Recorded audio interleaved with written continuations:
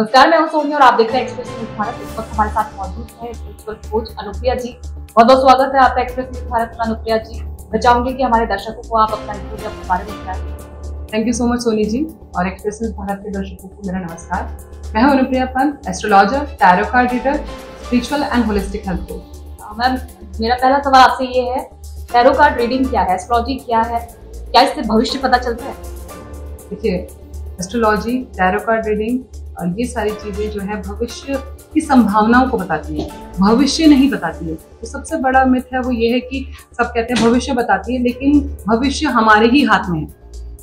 ये सिर्फ़ संभावनाओं को बताती है। हमारी प्रेजेंट में जो मतलब हम लोग कर्म कर रहे हैं, उसके अकॉर्डिंग हमारे भविष्य में जो होने वाली संभावनाएँ हैं, उसको हम एस्ट्रोलॉजी और टैरो कार्ड रीडिंग के माध्यम से जान सकते हैं। एस्ट्रोलॉजी और टैरो कार्ड रीडिंग दोनों बहुत ज़्यादा डिफरेंट स्टडी और कॉन्सेप्ट है। एस्ट्रोलॉजी हमारा वैदिक कल्चर से जुड़ा हुआ है और टैरो जो है वो हमारा वैदिक कल्चर से नहीं है। मैम, कई बार एस्ट्रोलॉजर्स जो होते हैं वो डेट ऑफ़ बर्थ लेकिन कई के पास डेटा नहीं होता अपना, पता नहीं होता कब जन्म हुआ था, किस समय हुआ था। तो इसका क्या उपाय है? इसका कैसे आप उनको बताते हैं कि आपके भविष्य में ये संभावनाएँ हैं? क्योंकि डेट ऑफ़ बर्थ बहुत ज़रूरी माना जाता है।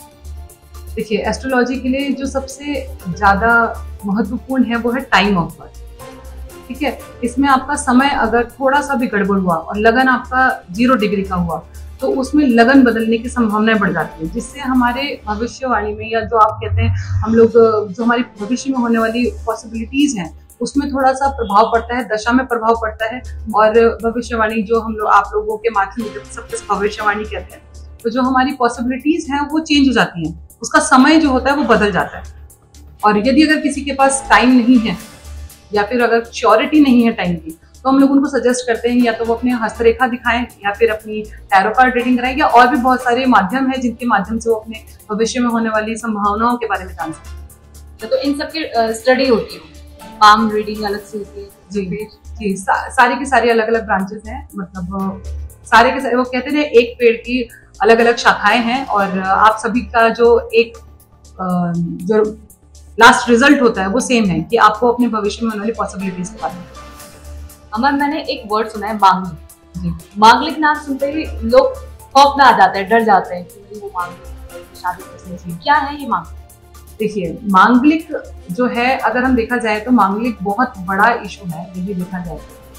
क्योंकि मंगल यदि हमारे लगन में चतुर्थ भाव में हमारे सप्तम भाव में हमारे अष्टम भाव में या द्वादश भाव में बैठा होता है तो उस समय पे मांगलिक दोष बनता है।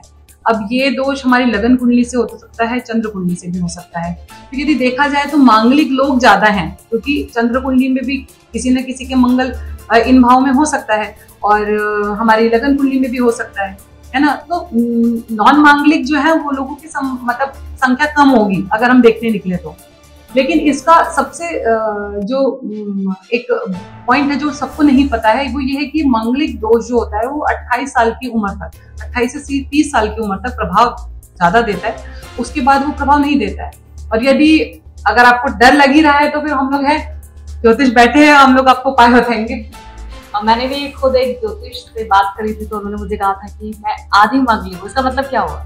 आदि मांगलिक में यही हो सकता है कि आप चंद्र कुंडली से होंगी लगन कुंडली से नहीं होंगी या लगन कुंडली से होंगी चंद्र कुंडली से नहीं होंगी। इसे अर्ध मांगलिक कहा जाता है आप बता रहे हैं। कहते हैं कि इंसान जो है वो यूनिवर्स से कनेक्ट होता है। किस तरह से कनेक्ट होता है और मेडिटेशन का इस पर क्या प्रभाव? देखिए हम अगर देखेंगे तो जो हमारे ज्योतिष के उपाय हैं है ना वो हर चीज़ से जुड़े हैं। यदि देखा जाएगा तो हम लोग जुपिटर को केले के पेड़ से जोड़ते हैं। है ना? शनि को हम लोग पीपल के पेड़ से जोड़ते हैं। जुपिटर को पीपल के पेड़ से जोड़ते हैं लेकिन शनि को पीपल के पेड़ से जोड़ते हैं है ना? सूर्य भगवान के लिए हम लोग सूर्य को देवता को देखते रहे हम उसके जल अर्घ देते हैं ना? चंद्रमा के लिए चंद्र हमारे समक्ष बट जो प्लानट नहीं है उनके लिए हम किसी न किसी चीज़ से जोड़ते हैं। तो कहीं ना कहीं कनेक्टेड तो है। साथ ही साथ यदि हम कहें कि अगर मनुष्य अपने ही रिश्तों में बदलाव लाए उनकी कड़वाहटों को कम करे तो भी वो अपने ग्रहों के प्रभाव को कम कर सकता है। देखिए हम लोग जुपिटर के लिए अगर बोले यानी कि हमारा जो बृहस्पति ग्रह है उसके लिए हम अपने गुरुओं को आ, सम्मान दें तो उससे काफ़ी प्रभाव पड़ता है। तो कहीं ना कहीं गुरु जो है हम उन्हें बृहस्पति से कनेक्ट करते हैं। क्योंकि बृहस्पति देव गुरु बृहस्पति शुक्र ग्रह को हम अपनी भारे यानी कि प्रियों से अपनी मतलब जो पुरुषों के लिए पत्नी से जोड़ते हैं है ना? लग्जरी से जोड़ते हैं। यदि शुक्र ग्रह के लिए हम आ, इन सब चीज़ों में प्रॉब्लम होती है तो हम लोग शुक्र ग्रह का उपाय बताते हैं। है ना? यही हम बुद्ध को बच्चों से जोड़ते हैं, है ना?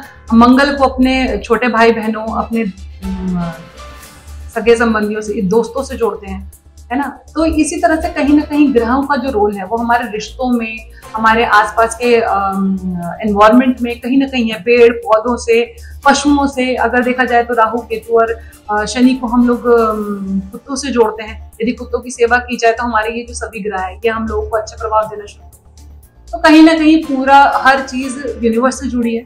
हम और आप, हम भी यूनिवर्स से जुड़े हैं और कहीं ना कहीं हम और आप एक दूसरे से जुड़े तो हम सबके अंदर जो आत्मा है, वो एक ही परम आत्मा की है, यानी कि परमात्मा। परमात्मा यानी परम आत्मा तो हम लोग एक दूसरे से भी जुड़े हैं। जैसे पेड़ अपनी जड़ें ज़मीन के अंदर डाल फैली होती है, जैसे पेड़ पेड़ की जड़ें, ऐसे ही हम लोगों का भी रूट चक्रा से नीचे जो होती है, वो हम लोग अपनी जड़ें, इतनी नहीं है लेकिन जो आ, हम लोग भी कहीं ना कहीं जड़ों से जुड़े हैं ज़मीन से जुड़े हैं और वो सबके सब आपस में एक दूसरे से कनेक्टेड है। मेडिटेशन uh, आजकल कितना ज़रूरी है? क्योंकि अब बिज़ी लाइफ हो गई है इंसान की और डिप्रेशन तो आप सोच सकती हैं आजकल हर व्यक्ति जानता है कि डिप्रेशन क्या है। जी, जी, जी. तो मेडिटेशन क्या इसका उपाय हो सकता है? मेडिटेशन ही डिप्रेशन का उपाय है क्योंकि साइंस के पास आपकी सोच को बदलने का कोई भी उपाय नहीं है। वो आपको टैबलेट्स मैं नहीं कहूँगी कि आप मत खाइए या दवाइयाँ ना ले, लें। लेकिन उसका जो हम लोग एक जड़ से जिसे हम कहते हैं ना कि हमें उसको खत्म करना है डिप्रेशन को, है ना? तो उसका उपाय मेडिटेशन ही है और मेडिटेशन बहुत ज़्यादा ज़रूरी हो गया है। और सबसे ज़्यादा कोविड के बहुत, बाद बहुत ज़्यादा ज़रूरी हो गया है क्योंकि कोविड के समय पे सबके सब एक साथ रह रहे थे, लेकिन अपनी अपनी ज़िंदगी एक ही घर के अंदर अलग अलग जी रहे थे, है ना? क्योंकि माँ पिता दोनों के दोनों जो है वो अपने काम में बिज़ी बच्चे अपने स्कूल के लाइक स्क्रीन हमारी दोस्त ज़्यादा हो गई थी, बाकी जो रिश्ते थे वो सब खत्म ही हो गए थे, देखा जाए। तो उस समय पे बच्चों को भी जो छोटे बच्चे थे, उनको अकेलेपन का शिकार होना पड़ा। पहले हम बाहर जाते थे सोशलाइज होते थे, लोगों से मिलते थे, वो भी बिल्कुल खत्म हो गया था। तो उस समय पे जो लोगों को सबसे ज़्यादा डिप्रेशन जो हुआ है, वो उसी समय पे हुआ है। और अगर आप देखेंगे ना, एक जिम जाने वाला व्यक्ति जो बिल्कुल अपनी डाइट का भी बहुत अच्छे से ध्यान दे रहा है क्या खाना है, क्या पीना है। जिसका लाइक हम अगर देखेंगे तो हमारे बहुत ज़्यादा फ़ेमस लोगों में से अगर सबसे बड़ा एग्ज़ाम्पल मैं देना चाहूँगी तो सिद्धार्थ मल्होत्रा ठीक है अब देखेंगे उनकी बिल्कुल ही आज तक किसी को पता नहीं चल पाया कि उनको क्यों हार्ट अटैक आया। क्योंकि वो इतना हेल्थ कॉन्शियस थे, लेकिन फिर भी उनकी बिल्कुल हार्ट अटैक से डेथ होना इज़ लाइक मतलब किसी को कुछ समझ ही नहीं आया कि क्यों हुई।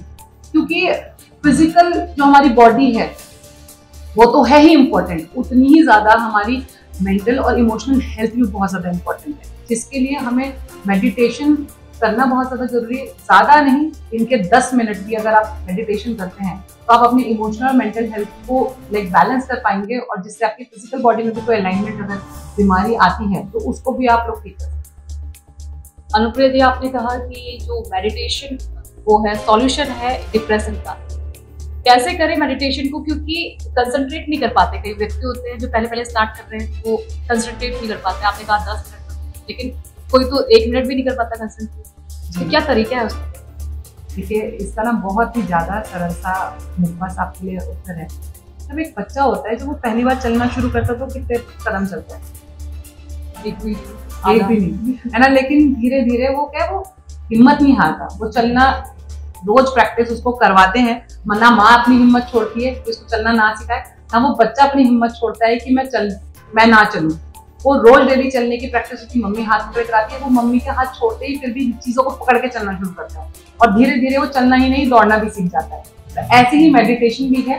एक दिन ध्यान नहीं लगेगा, दूसरे दिन नहीं लगेगा, तीसरे दिन ज़रूर लगेगा, चाहे एक मिनट का लगेगा, पर लगेगा। और ध्यान लगाने की बहुत सारी प्रक्रिया है। मतलब आप अपनी सांसों पर ध्यान लगा सकते हैं। यदि आप अपनी सांसों को भी ध्यान नहीं लगा पा रहे तो कोई भी सूदिंग सा म्यूज़िक या कोई भी सॉन्ग ही सही आप जो भी चीज़ आपको सेटिस्फाइड uh, फील करा रही है किसी भी चीज़ की आवाज़ चिड़िया की आवाज़ पानी की आवाज़ किसी भी चीज़ पे आप ध्यान लगा सकते हैं। और ध्यान लगाना कोई आ, हम ये कहेंगे कि ध्यान लगाने के लिए एक जगह पर बैठना बहुत नहीं पढ़ते वक्त आपको ध्यान लगाना पड़ता है खाना बनाते वक्त आपको ध्यान लगाना पड़ता है नहीं तो नमक दो बार जा सकता है। कढ़ाई में है ना? तो वैसे ही आप गाड़ी चलाते हुए ध्यान लगा रहे कोई भी काम यदि आप कर रहे हैं जिसका आपकी पाँचों मतलब हमें छह की छह इंद्रिया जो है वो काम कर रही है एक साथ एक ही दिशा में वो ध्यान। Uh, मैंने सुना है कि जो कलर्स होते हैं हमारे डेली लाइफ में दिखते हैं रंगीन कलर्स कलरफुल तो पूरी दुनिया है लेकिन हर एक कलर से एक वाइब्रेशन आती है। कि ब्लैक के लिए खतरा ब्लैक अच्छा नहीं माना जाता है काला जादू ब्लैक कहा जाता है? और व्हाइट शांति का प्रतीक है। तो मैं चाहती हूँ कि आप बताएँ कि कौन सा कलर इंसान के लिए ज़्यादा अच्छा है। देखिए, सभी कलर अच्छे होते हैं सारे ही रंग बहुत अच्छे हैं, बहुत खूबसूरत है, इंसान को रंगीन ही रहना चाहिए। और ब्लैक कलर आप खतरे का बता रहे हैं, लेकिन प्रोटेक्शन का भी ब्लैक कलर ही होता है है ना? तो वो देखने का नज़रिया होता है कि हम किस चीज़ को कैसे देखते हैं। और अगर हम अपनी नज़रिया को बदलेंगे तो हमें हर चीज़ अच्छी दिखाई देगी ब्लैक में प्रोटेक्शन दिखाई देगी और व्हाइट में शांति दिखाई देगी। है ना? लाल में प्यार दिखेगा, है ना? हरे में हमें हीलिंग दिखाई देगी। तो ये सब कॉन्सेप्ट हमारी सोच पे डिपेंड करता है कि हम किस चीज़ के बारे में क्या सोचते हैं, हमारी सोच क्या है, उससे हमारे सारे के सारे विचार और हमारी सब चीज़ें समझना बहुत बहुत शुक्रिया अनुप्रिया जी हमसे खास बातचीत करने के लिए। धन्यवाद।